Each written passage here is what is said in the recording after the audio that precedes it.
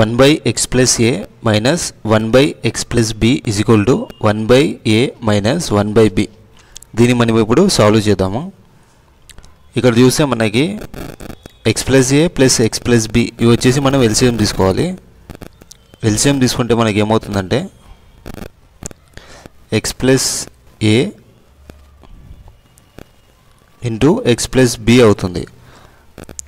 ఇది ఇప్పుడు ఎల్సిఎం అయినప్పుడు ఇక్కడ డినామినేటర్లో డినామినేటర్ తోటి మనం దీన్ని డివైడ్ చేస్తే ఇది క్యాన్సిల్ అయిపోతుంది. మనకి మిగిలేది ఎక్స్ ప్లస్ బి మిగులుతుంది.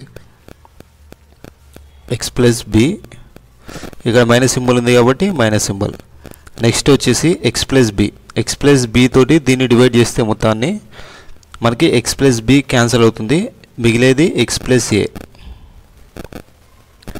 x plus a తర్వాత ఇక్కడ వచ్చేసి ఏబి ఎల్సిఎం వచ్చేసి ఏబి అవుతుంది. తర్వాత ఈ ఏబిని ఏ తోటి డివైడ్ చేస్తే మనకి ఏఏ క్యాన్సిల్ అయిపోతుంది. మిగిలేది బి తర్వాత వచ్చేసి ఈ బి తోటి ఈ ఏబిని డివైడ్ చేస్తే మనకి బీబీ క్యాన్సిల్ అవుతుంది. మిగిలేది ఏ సో మనకి ఇక్కడ వచ్చేసి a is equal to x plus a b is equal to x plus b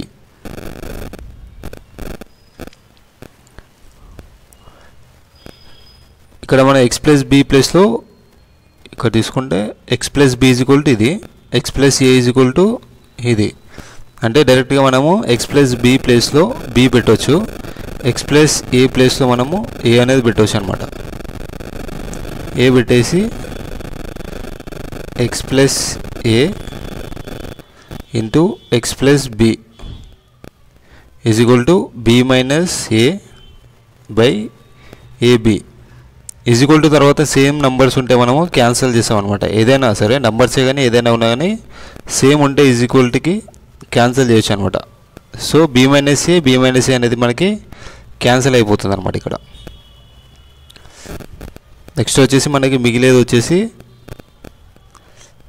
ఈ రెండు మిగులుతాయి. X plus a x plus b is equal to ab ఇప్పుడు మల్టిప్లై చేద్దాం. X into x x square x into b x b plus a into x ax plus a into b ab ఇది ఈజ్వల్టీ ఇక్కడ ఉంది కాబట్టి దీన్ని ఈజ్వల్టీకి యువతలకి పంపిస్తే మనకి మైనస్ అవుతుంది అనమాట అంటే సింబల్ అనేది మారుతుంది. ఇక్కడ ప్లస్ ఏబి ఇక్కడ మైనస్ ఏబి కాబట్టి ఇది క్యాన్సిల్ చేయొచ్చు. తర్వాత మనకి ఎక్స్ స్క్వేర్ ప్లస్ ఇక్కడ మనం ఎక్స్ని కామన్ తీస్తే ఏ ప్లస్ బి అనేది ఉంటుందన్నమాట. ఏ ప్లస్ బి